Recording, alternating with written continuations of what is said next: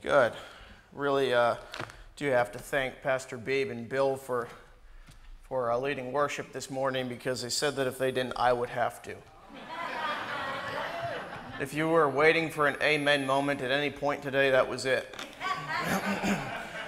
Unless there's VBS songs or something like that, or you know, uh, even uh, even God's not dead. We have a lot of fun with that song out there in Rock Church.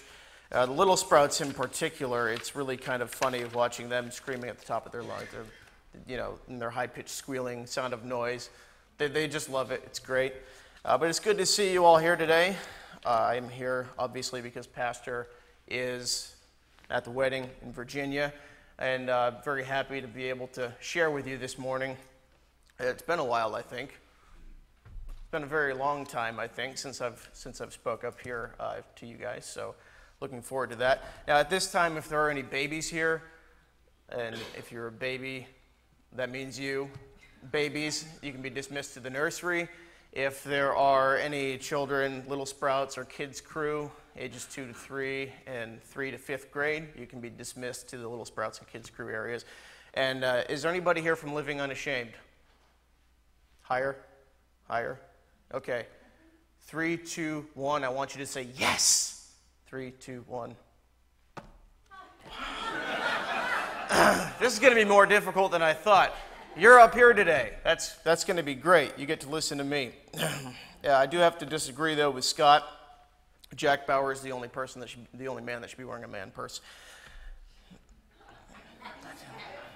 All right. If you have a Bible with you, I'd like you to turn to John chapter 12. I'm going to be spending some of the time there. I really will be all over, but that's kind of what I'm coming back to. And uh, we're going to be talking about something today. You might find it to be a little bit shocking, and that's okay. Just hear me out. Just bear with me. It won't be as shocking as it starts out by the time the by the time it's finished. Uh, did want to say really quickly before I got started. Uh, we've been having a great time out in Rock Church. We started Rock Church just over a year ago, I think. And the aim was have a church service for the kids. Uh, two reasons. One, you know, the, the simple ministry fact of it. And then we, we were getting kind of crowded and we thought, hey, you know what, we should, we should kind of move some people around the building so that there's more room in here. And uh, it's just been great. It's been absolutely wonderful. I know I talk to a lot of people who, when they hear the term children's church or whatever its equivalent is, they kind of have a, a negative impression of it because they think, Oh, yeah, well, that just means that you're going to be sitting around playing games and, and uh, drinking Kool Aid instead of, instead of being in the church and worshiping and hearing the word. And the, there's great news attached to that. I was one of those people for a very long time, so we don't do that. The, uh, the kids, they hear the word, the kids get the gospel week after week, and, and uh, you should really see them when they're singing, when they're praising God, and, and uh, really putting themselves into it. Uh, it's just a wonderful thing. And uh, you know, these are your kids. These are, well, someday will be my kids. And it's just been a privilege to be able to spend that time with them. So I'm going to try not to talk to you guys like I talk to them week after week, because that would be a little bit uncomfortable. But anyway, John chapter 12. And before we get started, I'm going to say a word of prayer. Lord, we thank you today for this chance to gather in your presence. God, I thank you for the opportunity to share your word, the, the life changing, powerful, uh, just uh, incredible word of God. And I know that nothing that I can say or nothing that I can think of is going to accomplish what your word can accomplish. So I just pray today that our hearts would be receptive, our minds would be open, and we would see your word in a different light today than we've ever seen it before. And uh, we would be challenged, we would be drawn to you, and we would change and be changed by the power of your word, the power of your gospel today. Bless each person here. In Jesus' name, amen. So today I'm going to talk to you about contradictions in the Bible. Sort of. That's what I'm going to talk about. Uh, there are lots of people who have been raised to think, they've been taught, they've been kind of driven into their head that there are hundreds and there are hundreds and there are hundreds of contradictions in the Bible. And there's thousands of them and it's all nonsense and you can't believe any of it because it's all garbage, right? Does anybody here, anybody's ever heard that or, you know, you've thought that at one point or another? I know that a lot of people, they, they believe that for a very long time and then they get saved, they change their mind. There might be some of you sitting here today that have thought that, or perhaps it still do. You know, the Bible is just a bunch of nonsense and we can't take any of it seriously. And then there's the good Christian response. It's like, no, sir, there are no contradictions in the Bible. That's false. God's word is perfect and God's word is infallible and it's the inspired word of God and there can't be any contradictions in the Bible, right? That's the good Christian response. But like many other Christian responses, it's not true. Hang with me. Don't walk out now. Don't walk out now. Just hear me out. Now, I'm not saying that there are a lot of contradictions in the Bible. Uh, Norman Geisler, he wrote a book called When Skeptics Ask and he handled like 800 and something contradictions that were supposed to be in the Bible, explaining why it's not really the case. And this guy is teaching our kids, and he's talking about contradiction in the Bible. Now, there's one contradiction in the Bible that I'm aware of that I'm going to talk to you today. And it's not something simple, it's not something easy like whether Jonah was swallowed by a fish or a whale. And it's not something that's kind of a peripheral thing. This contradiction is central to absolutely all Christian faith and doctrine. Everything that you believe as a Christian is based on this contradiction. I'm being serious. It's, it's not something you can just brush under the rug. This is a real, real problem. Pastor's not here today, so I just took this advantage to talk about it, and I trust that nobody's going to say a word to him about it. The contradiction that you and I believe as Christians that is central to all Christian faith and doctrine is this Jesus Christ, his life, purpose, and teaching. He is a contradiction, but he's not a contradiction to himself, now that you're all listening. He's not a contradiction as though he said one thing and he turned around and he said something else and he's wrong because he's trying to stand on both ends of the fence at the same time. He's not a contradiction because he somehow said one thing that negated something else that he said. He's not a contradiction to himself, he's a contradiction to us as sinful human beings. As people who fall short continually, as people who want to live our life out of some kind of selfish motivation or for our own dreams and our own desires and our own purposes, Jesus Christ is a contradiction. And I will show that to you very clearly through these examples. The first thing that he contradicts us on is what goodness is. Luke chapter 18, in verse 18, he uh, starts to read A ruler asked him, Good teacher, what must I do to in- inherit eternal life? Jesus says to him, Why do you call me good? No one is good but one, and that is God. You know the commandments do not commit adultery, do not murder, do not steal, do not bear false witness, honor your father and mother. And the man says, I have kept all of these from my youth. When Jesus heard this, he told him, You still lack one thing. Sell all that you have and distribute it to the poor, and you will have treasure in heaven. Then come and follow me. And after he heard this, he became extremely sad because he was very rich. You see, this guy looks like he has it all together, right? A lot of people have asked the question why did Jesus say there is no one good but God? You know, good teacher, what must I do to inherit eternal life? There is no one good but God. You know, uh, any evangelism class that I've ever taken, they never told you to say that. If somebody comes up to you and asks you how to be saved, you don't say, Excuse me, there is no one good but God. So, Jesus, even though he wrote the book on evangelism, he failed the test at the end. He said that because the guy's coming up to him wanting him to validate his own self righteousness. And before he's even in the room, before he's even made his point about why he's a good person and why he deserves to go to heaven because of all the good things that he's done, Jesus closes the door behind him with no escape and says, Why do you call me good? There's no one good but God. Well, what are the commandments? Well, I do this, well, I do this, well, I do this. In other words, I'm a good person. So therefore, I should be allowed to go to heaven, right? And Jesus points out to him that he's not good enough to go to heaven. He's not righteous enough to measure up. There is no one that is righteous enough to measure up, no matter what we look like in our own eyes or what we look like to the world. We're still going to fall short.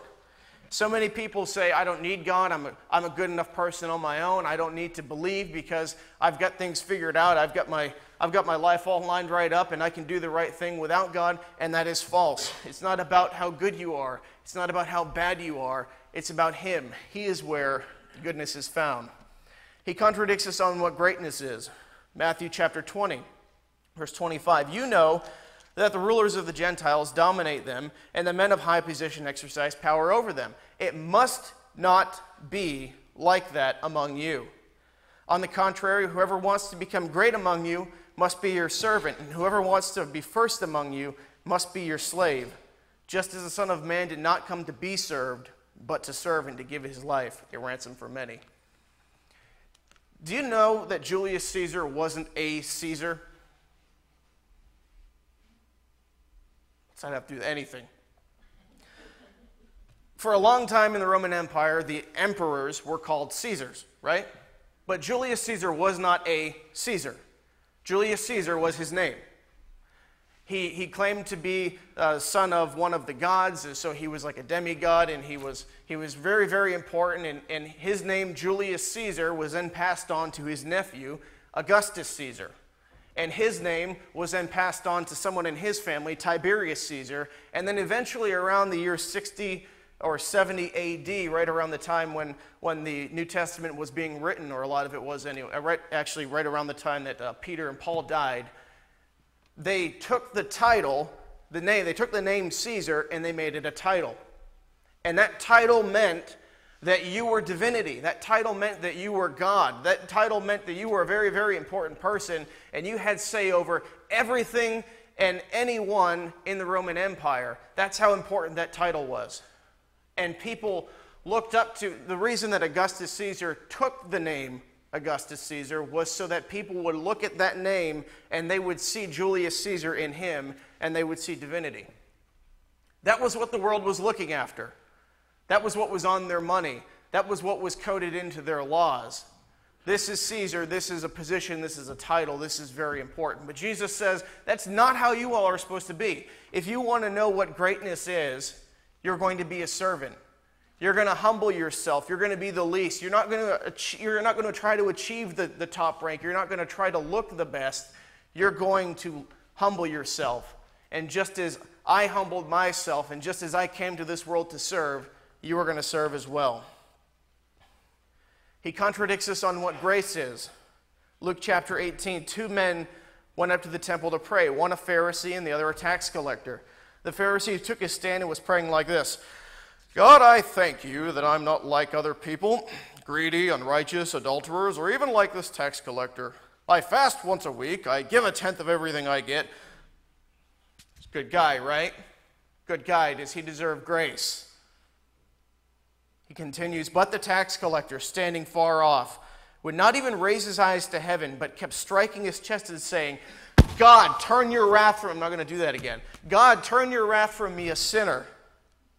I tell you, this one went down to his house justified rather than the other, because everyone who exalts himself will be humbled, but the one who humbles himself will be exalted.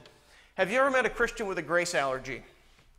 Every time you talk about the importance of grace, they kind of have like a reaction where it's like, you know, grace is really good and you can't earn your salvation. And then they go, but, but that doesn't mean you can do whatever you want. Okay, but you know, grace is, grace is very important, and the Bible says that if we teach any other gospel but the gospel of grace, then, then we're really teaching something that's very, very bad. but that doesn't mean that you can do whatever you want. Since when did grace mean that you could do whatever you want? No, read the Bible, for instance, in Titus chapter 2. God's grace teaches us to say what? To say no to ungodliness. God's grace doesn't give us this, this sort of like, oh, now that I'm forgiven, I can do whatever. No, Romans chapter 6 sin shall not have dominion over you because you are not under the law, but you are under grace. You see, it's completely backwards to the human reaction because when the human hears that they've been forgiven freely, free of charge, absolutely, it's grace. It's no longer what you do, it's no longer your righteousness. There's this sinful tendency to say, oh, that means that I'm good. That means that I can just not worry about it. That means that I can just say, hey, whatever. But look at this man. God, be merciful to me, a sinner. You think he's going to go home and say, you know, I can do whatever I want now? Absolutely not. And you can see time and time again in Jesus' reactions with people, People who were rotten sinners, people who had absolutely no reason to be forgiven in the world's eyes, and Jesus forgives them. He shows his grace to them. And, and this, sort of, this sort of forgiveness doesn't make them want to go out and do the wrong thing again. You see, when we really understand grace, we know that when we receive it, it doesn't mean we resent righteousness. and doesn't mean that we take goodness for granted. It means we resent sinfulness. Because He's freely wiped the slate clean. Why would I go back and try to put more stuff on it again, right? He contradicts us on what giving is. Mark chapter 12, verse 41. Sitting across from the temple treasury, he watched how the crowd dropped money into the treasury. Many rich people were putting in large sums of money, and then a poor widow came and dropped in two tiny coins worth very little. And summoning his disciples, he said to them, I assure you, this poor widow has put in more than all those giving in the temple treasury. For they all gave out of their surplus, but she, out of her poverty, has put in everything she possessed and all she had to live on. Could you imagine if, I'm not going to name names like Joel Osteen was there? Did I just do that? Could you imagine if the, the, the executives at TBN were there could you imagine if Copenhagen was there and sees two coins go in? What did Jesus say? She gave more. You know, you and I would look at the large gift, we'd look at the big sum of money, and we'd say, wow, that's impressive. But Jesus isn't looking at the person and the amount of money that they give. He's looking at the person and the reason that they're doing it and their, and their dedication to why they're doing it. And he looks at this woman who gives him the two coins and he says, You know what? That woman has given more than all of these. Completely opposite the reaction that we would have because he contradicts us on what giving is. And he contradicts us on what devotion is. What's the second most important commandment? Luke 10 27. Love your neighbor as yourself. Jesus said those words Love your neighbor as yourself. Most people that you talk to will agree that that's a good thing to do. You know, that's kind of, even though it's not really natural, even though it's not practiced very well, most people are going to say, yeah, that's a good thing. We should try to do that. So it's expected. It's good to do, but it's expected in some ways. Well, flip a few pages back, Luke chapter 6, verse 27. But I say to you who listen, Love your enemies and do what is good to those who hate you. Bless those who curse you and pray for those who mistreat you. Now, this has gone from something that's expected to something that's just like, whoa, whoa, hold on a second here. I'm, I just back, rewind the tape a little bit. We shouldn't really have to do that, right? We shouldn't really have to love our enemies. Well, this is what he said, right? It's above and beyond what our, what our idea is when it means to love somebody. It's above and beyond the, the typical, it's above and beyond the reaction it's a, that, that most people are going to have because this is what he said to do.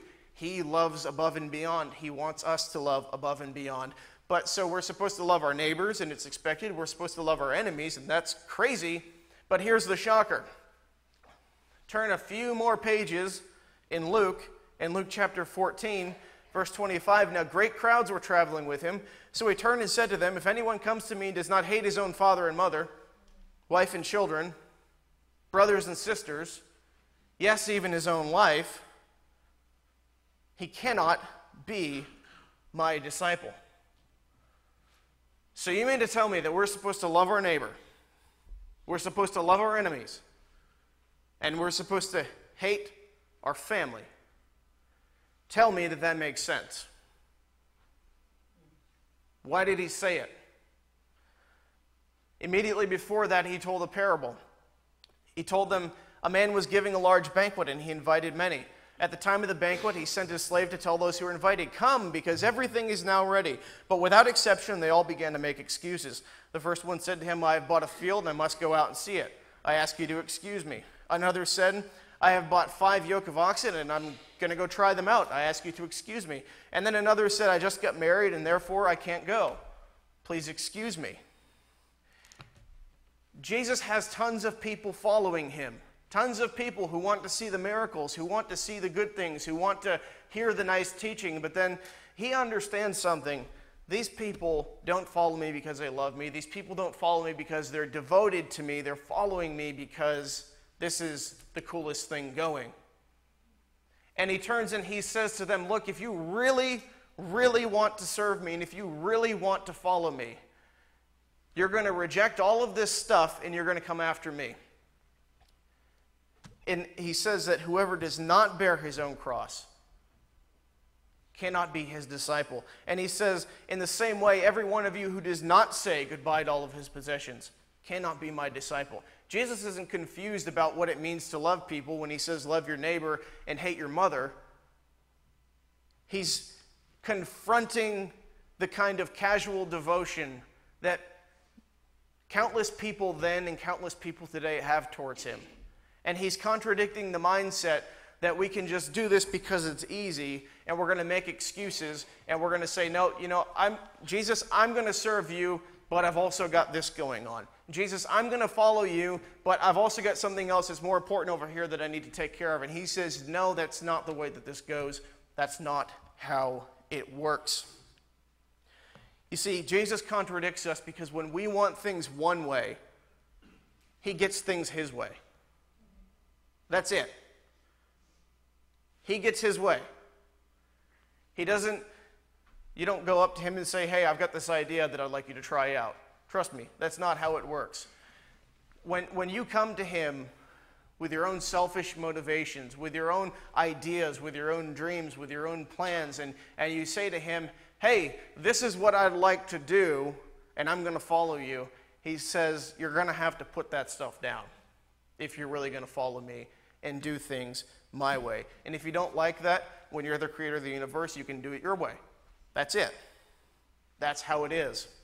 G.K. Chesterton, a writer from the early 1900s, he wrote in one of his books that one of the things that attracted him to Christianity in the first place wasn't some evangelist, wasn't some Christian friend. It was actually the people that he knew in his university setting who were opposed to the gospel. And the reason for that was because one person would say, you know, Jesus is, is too loving and accepting and permissive, and then another person would say he's too harsh and judgmental. And he, and he asked himself, what kind of person is both too loving and accepting and too harsh and judgmental at the same time? Jesus is too, uh, Christianity is too much for the aristoc- uh, aristocrats and the, the, the wealthy and the important and the powerful. And then somebody else says Jesus is too much for like the middle class and the, un- and the uneducated and the foolish people. And he says, wait a second, what kind of person is for these guys, but also for these guys? Jesus is too much of a, Jesus is too much of a, a, tyrant. Jesus is too much of a this. Jesus is too much of a that. And the analogy that he wrote in his book was that if you were walking around a crowd and everybody's talking about the same guy, and one person says he's too short, the other person says he's too tall, one person says he's too fat, one person says he's too skinny, one person says that he's, he's too masculine, the other person says he's too feminine, you might ask yourself, what in the world kind of a crazy person is this? And you might even come up with the answer. Maybe he's the perfect one. Maybe he's not just a, maybe he's only this way to these people because they're looking at it from their point of view, and to them, he's too judgmental. Or maybe, you know, maybe to the person who thinks that they're self righteous and they're looking over at the other side and they're saying, you know, Jesus is wrong because he's too gracious to people who are sinful, and, and I'm a pretty good person, so this isn't fair to me. Well, the conclusion that he comes to is that Jesus Christ is the one perfect man, the one perfect teacher, the one perfect Son of God who looks all different ways to all different people because he is the one single frame of reference and point of reference that is perfect. And that means that he's the one that makes everything else imperfect. Because you can only be level at one angle, but you can be out of level by a million angles. And if you're in construction, you know exactly what I'm talking about. So we're just going to leave that one alone. We're going to move along. If you don't, if you don't agree, if you don't agree that Jesus was was really this person who, for the simple fact that he could run into a, he could walk into a crowd of children and he could he could have all these children climbing all over him and, and he could and he could learn their names and he could talk with them and you know and act like he's not too good to be part of them. And then when the rich important people when the rulers and the pharisees when the religious and the righteous come up and he turns around and he says how do you think you're going to escape the damnation of hell because you're whitewashed tombs and you're dead on the inside, even though you look good on the outside. if you don't think that, that he is somehow the perfect Son of God because of the things that you've heard about him or the things you've been told about him, I've got a really brief challenge for you. Look him up, read about him, study him, find him. And I think that you're going to find, if you do that with an honest heart, that he is that perfect one. And that even if he contradicts everyone else, he's still right. And he still asks something of you. So, with all of these different contradictions, is it any surprise to me? No, that he would contradict us on what it means to live. One more contradiction, John chapter 12, verse 20. Now, some Greeks were among those who went up to worship at the festival. So they came to Philip, who was from Bethsaida in Galilee, and requested of him, Sir, we want to see Jesus. Philip went and told Andrew. Then Andrew and Philip went and told Jesus. And Jesus replied to them, The hour has come for the Son of Man to be glorified. I assure you, unless a grain of wheat falls into the ground and dies, it remains by itself. But if it dies, it produces a large crop. I'm going to look at this verse in three different ways. The first way is that Jesus, in this verse, he's talking about his sacrificial death on the cross. It's understandable if we read the context. This is what he's saying. He's referring to his life. Unless a grain of wheat falls into the ground and dies, it's going to remain alone. Speaking of his life, unless I go to the cross and die, then the harvest won't come. And that's very clear. You read John chapter 9. In John chapter 9, it's been decided that anybody who confesses that, uh, that they follow Jesus is going to be thrown out of the temple and arrested. In John chapter 10, Jesus claims to be equal with the Father. He says, I and my Father are one. And the Pharisees and the scribes, they pick up stones to stone him and they say, You've committed blasphemy. In John chapter 11, he raises Lazarus from the dead, which exactly opposite the reaction that people want. You know, people want to see Jesus kind of fizzle away and, and go away. And, and, and all of a sudden, he raises Lazarus from the dead, and he's drawing all these people to him, and they say, That's it. We've got to kill him. We've got to kill Lazarus as well. We've got to make this happen. And then in John chapter 12, the chapter that we're in, he goes into Jerusalem on the back of a donkey, and people are singing, Hosanna, Hosanna, save us now. Blessed is he who comes in the name of the Lord. And if you really understood what was going on right there, he's in the same place on the same day probably around the same time that the high priest would have carried the, sac- the, the Passover lamb into the city. The Passover lamb that's going to be slaughtered at the temple, they're going to take it up there, it comes in through the same gate. It comes into crowds of people with palm trees shouting, Hosanna. And right around the exact same time, Jesus walks into the city, telling the person because he waited very specifically for this day to do just this, telling whoever's standing by that understands it that he is the one who's going to give his life for the people. So Jesus Christ is literally on his way to his death. This little conversation, this little statement, unless a corn of wheat, unless a grain of wheat falls into the ground and dies, is literally as Jesus is preparing himself and his followers for what's going to happen in just a few days. And we understand as Christians that his death means our life. His death on the cross means that, that we, you and I could be forgiven, that you and I could be saved. You and I had no other chance whatsoever of being forgiven of our sins and being, and being born again if it wasn't for the fact that Jesus did this. In the same way that one seed goes into the ground and it becomes a plant and that plant has many seeds, and those go into the ground, and eventually there's a whole harvest. Jesus is saying of his life, unless I give my life, there won't be a harvest at the end. And we know that there was no other way that you or I could be saved. There is no other way to have eternal life. But there's a there's another way I want to approach this statement. There's another way I want to talk about the, the grain of wheat that falls into the ground. The grain of wheat that falls into the ground is like salvation through faith in the gospel. In Matthew chapter 13, Jesus tells a parable that a, a farmer went out to plant and he threw the seed out into the ground, and the seed is the word, he explains, and it lands in good soil somewhere and it becomes a crop producing 30, 60, or 100 fold. So we know from that that the gospel is a seed and that our heart is dirt, soil. Nice job, right? Very flattering, very flattering thing to know. And that is what produces a harvest the seed, the gospel, going into the ground, going into our hearts when we believe in and accept it. You know, I'm always shocked at how simple the gospel is. I, I can overstate the gospel in 30 seconds.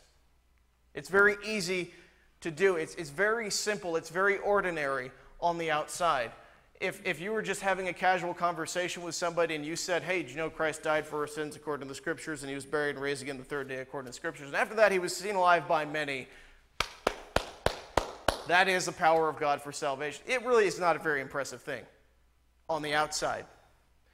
But in the same way that a seed looks very unimpressive on the outside, there's this potential that God put into it that makes it turn into something completely different, that makes it grow into something that, that's far more impressive, that makes it come alive, that makes it produce something. And instead of a, a little unimpressive thing going into the ground and just sitting there, that little unimpressive thing goes into the ground and sprouts and changes and becomes something completely different. See, like a seed, the gospel transforms a life that receives it. The gospel changes a life that accepts it and a life that believes it. You can't just explain it, right? Uh, Jesus was talking to Nicodemus in John chapter 3, and he, and he says, uh, How can a man be born again when he is old? And Jesus says, Aren't you a teacher of Israel and you don't know these things? Know what things? What, what is he talking about? He says, Unless, unless you be born again, you cannot see the kingdom of God. The wind blows wherever it wants, and you hear the sound, but you can't tell where it's coming and where it's going. So it is with everyone that is born again or born of the Spirit. What is he? What's the wind goes around, does whatever it wants, and you don't know where it comes, you don't know where it goes, you don't know why it happens, right? You don't get it, but you know that it's happening. And so it is with everyone who is born of the Spirit believing the gospel is not remembering stories about a dead guy. It's not, it's not just re- quoting something or reciting something and, and, then, and then having that be the end of it. It's not words on paper, right? The gospel is living, the gospel is powerful, the gospel is alive, and the gospel is active. And it is active when you see that person who used to be one way, and then just because they believe this simple message, it changes everything about them. And they become something absolutely different. They take this, they take this life that they've made a wreck of themselves, and through no doing of their own, and through no, no amount of, you know, I'm going to lift myself up out of this, and I'm going to pull my bootstraps up, and I'm going to make myself better, they are changed. And that's when, that's when the gospel really becomes powerful, when you are changed. Because you can just kind of, like a lot of people do, just say, Yes, I'm a Christian. Yes, I'm a Christian. But if you really believe the gospel, I, I have to believe that no matter what point it was in your life when you believed it, you were different from before to after. You were different today than you were the day before you believed. I don't care if Jesus lifted you out of the worst kind of awful, horrible pit of depression and, and addiction or, or whatever, and then pulled you up to salvation. I don't care if you were going to church every single Sunday and you were a good person who never cheated on your taxes and gave money to the church every single week. The day that you came to Christ, you were saved. And there's no explaining it other than the power of God. And the gospel is not difficult to believe. It really isn't. You know, if you, if you believe a, just a few very fundamental, if you accept a, fun, a few fundamental things, like that there is a God and that Jesus was raised from the dead, which, if there's a God, that's not really a, that big of a challenge. You can get it, right? Yeah, you can believe it. It's not difficult. Christ died for our sins. He was buried, rose again the third day. You know, now we can be forgiven because he took our place in death. If it's so easy to believe, why is it so hard to accept. If it's so easy to just be able to look at it and make mental assent to a few details about a person who lived 2,000 years ago, why is it so hard to accept? Why can you talk to your neighbor or your friend or your family member, that person at school, that person you meet, and try to tell them about this, and they're going to be all like, yeah, that's nice, but I don't want any part of it. G.K. Chesterton said the Christian ideal has not been tried and found wanting, it's been found difficult and left untried. But I tell you, there is no other way to have eternal life but to believe that gospel. So that gets me finally to the last contradiction unless a grain of wheat falls into the ground and dies. Losing your life to keep it. When we continue to read in John chapter 12, Jesus says this He goes, unless a, unless a grain of wheat falls into the ground and dies, it remains by itself, but if it dies, it produces a large crop. The one who loves his life will lose it. And the one who hates his life in this world will keep it for eternal life. If anyone serves me, he must follow me. Where I am, there my servant also will be. And if anyone serves me, the Father will honor him. You see, walking up to that verse in Scripture, you see Jesus is talking about himself. And then you follow through and you get to the next couple verses and you realize he's also talking about you and I. In the same way that, that he gave his life, he asked us to give our lives. And it's directed straight at the follower, straight at the listener, straight at the person walking with him, the person who spent their time with him, him saying to them, Look, if you're going to keep your life for eternity, you're going to have to lose it in this life. If you love your life, you're going to lose it. You can't hang on to it, you can't keep it for yourself. You've got to let it go. Identification with Christ's life, suffering, death, and resurrection is actually a pretty central theme to New Testament theology. When, you, when you're reading through the, the scripture, you understand that, that the, the, the leaders of the early church, they understood that they lose their life with Christ. They lose their old life, and a new life is raised back up in its place. That's exactly what baptism symbolizes, right? You take the person, you dunk them in the water, you lift them up, you say a couple words, baptism happened, way to go. It's more than just dunking in the water, it's that symbol of your old life being gone, your old life being buried, and your new life being raised again. The same way that Christ was buried and that he was rose again, risen again.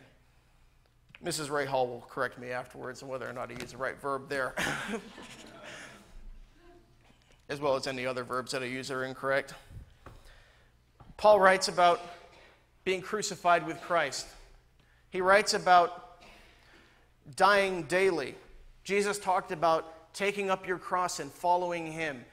You can't have Christianity without death and resurrection. It simply doesn't happen. It doesn't work. That's the only way. Following Christ is losing your life.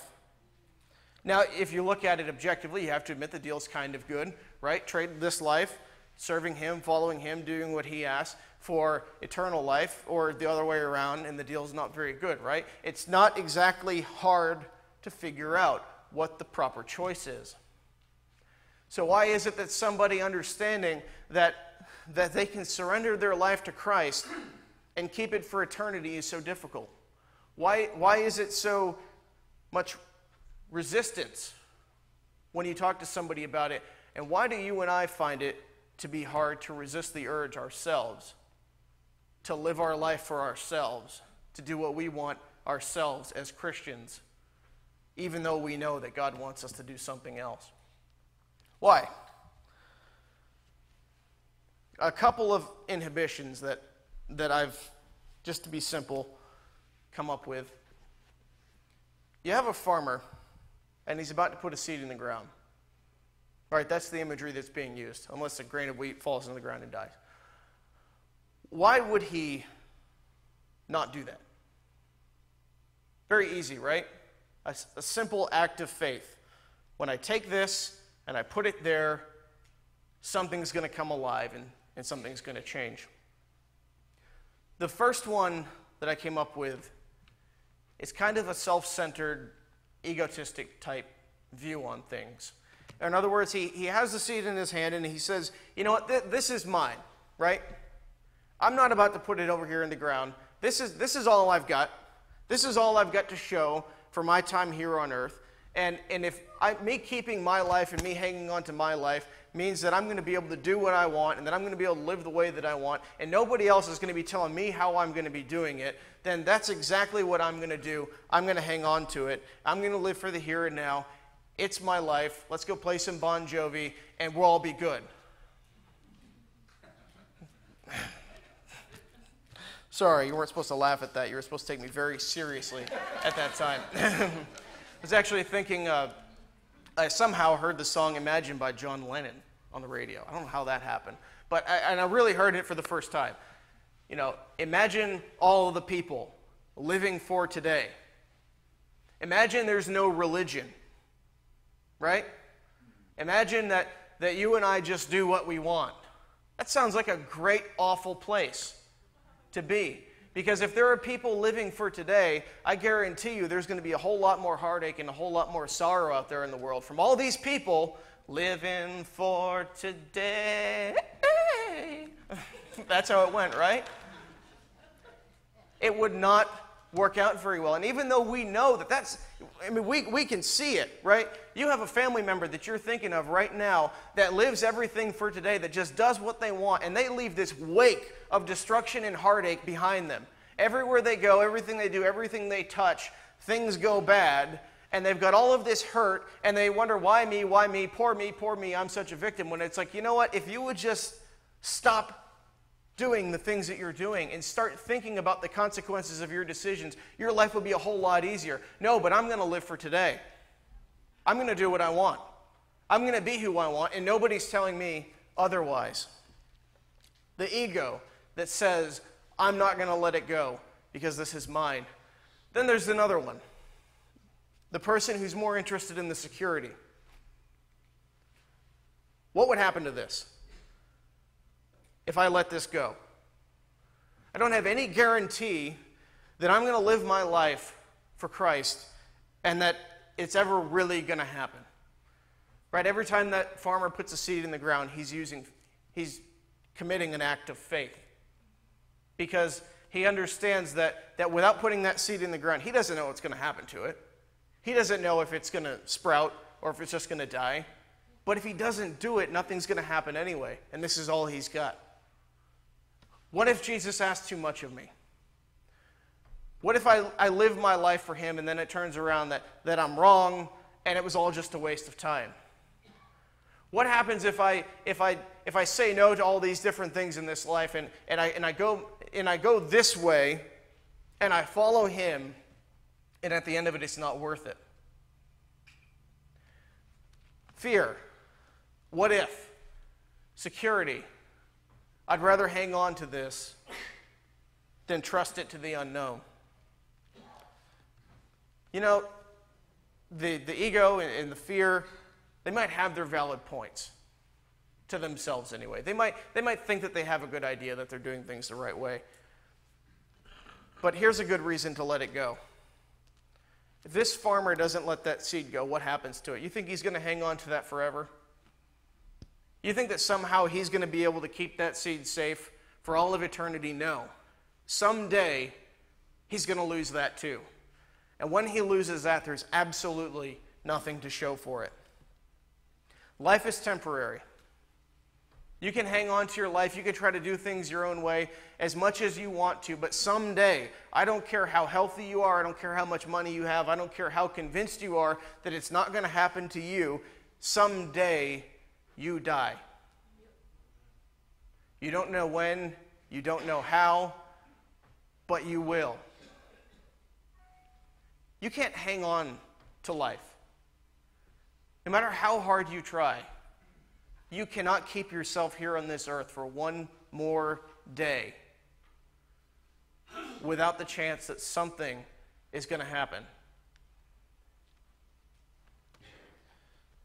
So, where is your life more secure? In the palm of your hand or in His? Where is your life more secure? Trusting Jesus Christ, who, if He does what He says He's going to do, now has it for eternity.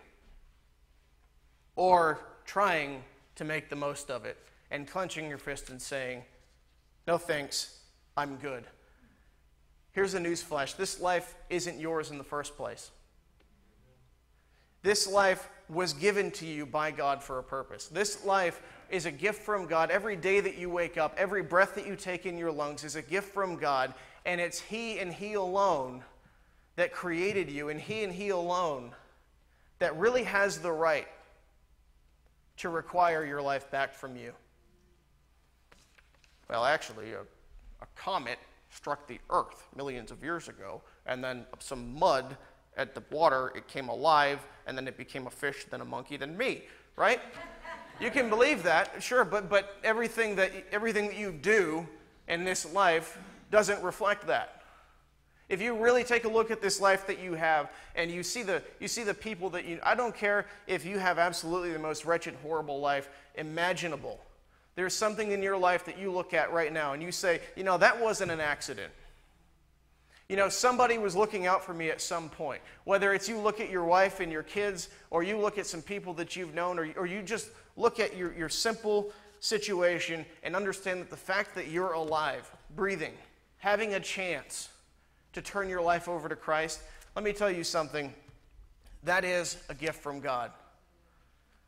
And you and I live day after day with this knowledge that we're not here forever, with this knowledge that we can't keep our lives if we wanted to, and with this knowledge that there's somebody out there, and when this is all said and done, he's the one that I've got to look at, and he's the one that I have to give an account of myself to.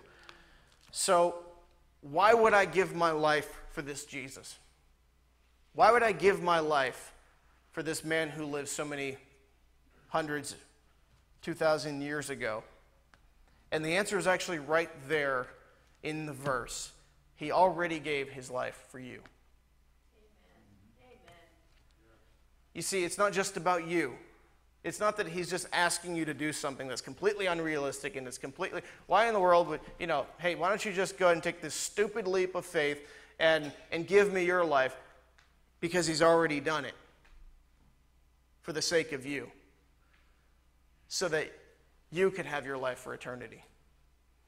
And that is the absolute best reason to follow him. And when we do that, we get a perspective change, right? The, all of a sudden, we, we can see that, that the fact that, you know, our life is temporary we yeah we should you know we should try to make the most of it. Yeah certainly we should we should try to make the most of our lives but but we're not making anything of our lives unless we're living it for him. When we see security over here on one side where we want to keep our life safe, where we don't want to give too much, where we don't want Him to ask too much, we go back over here to the side where we're born again and we understand that He doesn't ask anything of you, that He doesn't give you something better in its place. He doesn't ever once make any sort of requirement of you which it isn't worth it at the end. You can keep this insignificant seed. You can put it in your closet, you can lock it away, or you can put it in the ground. There's only one way that something happens. And when we see that, all these other contradictions make sense. They all come together, right? When we understand that, that Christ has forgiven us and that our, our goodness is in Him, it's not in us anymore. Our greatness is found in serving Him. What's really going to matter at the end of your life isn't going to be how big your bank account was and how, and how much people liked you, but it's going to be what you did to serve Christ. We're going to find that grace is about loving sinners and hating our own sin. So many people, they, they, just have this, they just have this conflict in their mind about how they're supposed to love sinners and how they're supposed to be compassionate to people who hurt them and people who wrong them. But let me tell you something. When you understand grace, you look at that person, you don't feel anger towards somebody who hurts you. It might be a little bit, but you feel sorrow for the people that hurt you. And you don't look at their faults and their sins and say, hey, they really ought to straighten out. Hey, they really ought to fix it. Hey, you know what? They're awful people. No, I think that if we understood grace, we'd start looking at our own lives and saying, you know what, I'm an awful person. And I don't deserve what God has given me. Maybe I should be more concerned about myself and the state of my life and be concerned about loving people because I have the same problem. The difference is I've been forgiven and I didn't even come close to deserving it. Grace would absolutely transform our lives. We understand that giving is about the heart, it's not about the amount. And we understand that losing this life is truly the only way to keep it. You see, Jesus comes to you, he comes to me,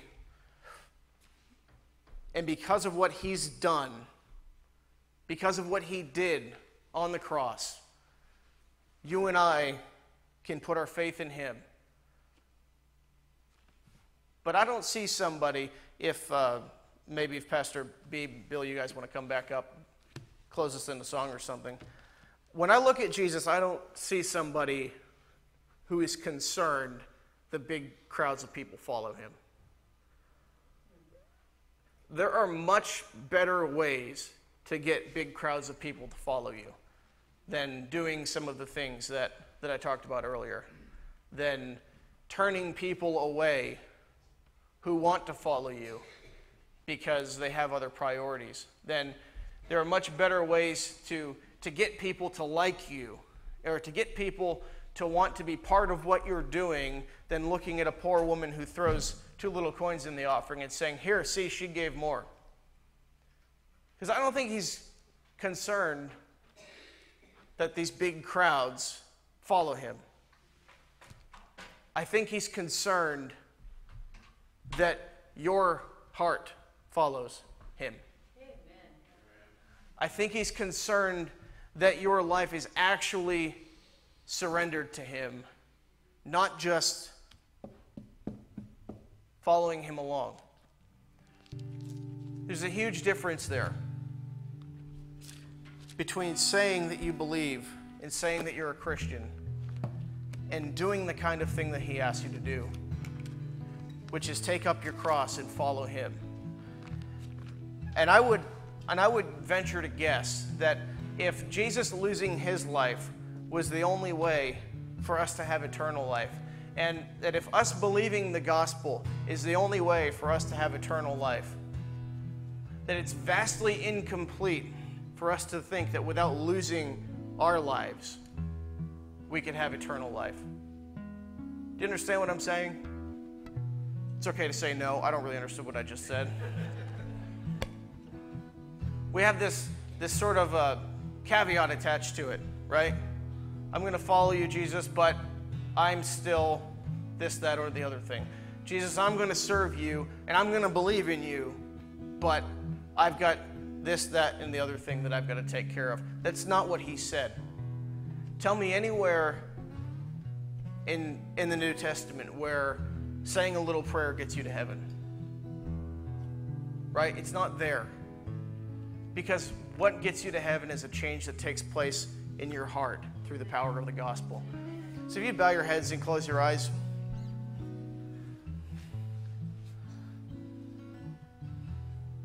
Just would like to say to you today, sitting here in your pew, maybe you've sat in that same seat for decades. Maybe you have called yourself a Christian your entire life, or maybe you just wandered in here for the very first time and you're wondering how in the world they let this guy ever get behind that pulpit.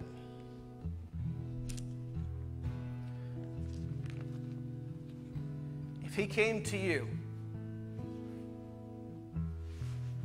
and he were to have a talk with you about the life that you're living for him,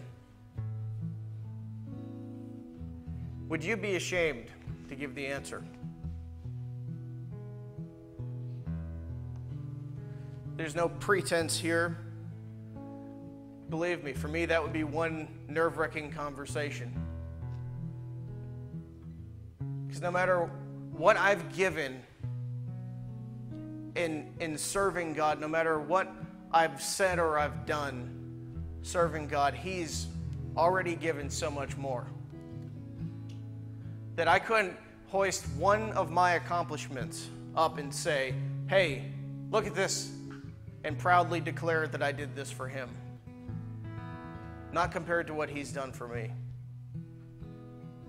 So I'd just like to challenge you, each one of you, when you say you follow Christ, to really think about what that meant. Maybe read some of the things that he said. Ask yourself, is that really what I'm doing? And I don't think that, that you need to go home today and, and jump in your closet and beg God to make sure that, that He forgives you and make sure that you're still a Christian. I don't, I don't think that that's the proper response, but I think that maybe, just maybe, you and I should wonder whether our heart, whether our heart is in the right place. Following Christ was never meant to be easy, even if they say it is on TV.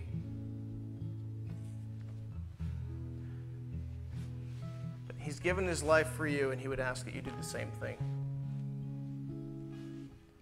Not, uh, I know this wasn't fancy, this wasn't whiz bang wonderful, but seriously, think about it. And if that's something that you've never done, let, let me tell you something. I wouldn't wait one more day before turning to Christ and asking Him for forgiveness and following Him. Jesus, we want to thank you today for the gift that you've given to us. We want to thank you for loving us when there was nothing there to love, when there was nothing there to look at that was of any value. You loved us and you gave your life for us. Now, God, I pray that, that as we go our separate ways, you would, you would begin to convict us with your Holy Spirit.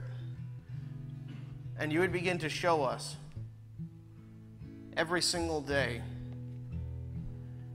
the inconsistency that we live with. I pray that you would contradict our self righteousness, you would contradict our arrogance and you would contradict our fear of, of surrendering to you. And from this day forward, you would change us. You would change us day by day. You would renew our minds. And you would help us to keep focus on the fact that you asked a lot more of us than coming to church on Sunday. You asked a lot more of us than checking a, a box on a survey that said that we were a Christian but you ask us for our lives. Remind us of that, Lord. Challenge us and change us. I just pray that, that these words would rest in our heart and that we would truly follow you. In Jesus' name, amen. Now, I've got to say the closing prayer. If I can remember it. Now may the Lord bless you and keep you. May the Lord make his face to shine upon you and be gracious unto you. May the Lord lift up his countenance upon you and give you his peace. Amen. Have a good week, everybody. Thank you.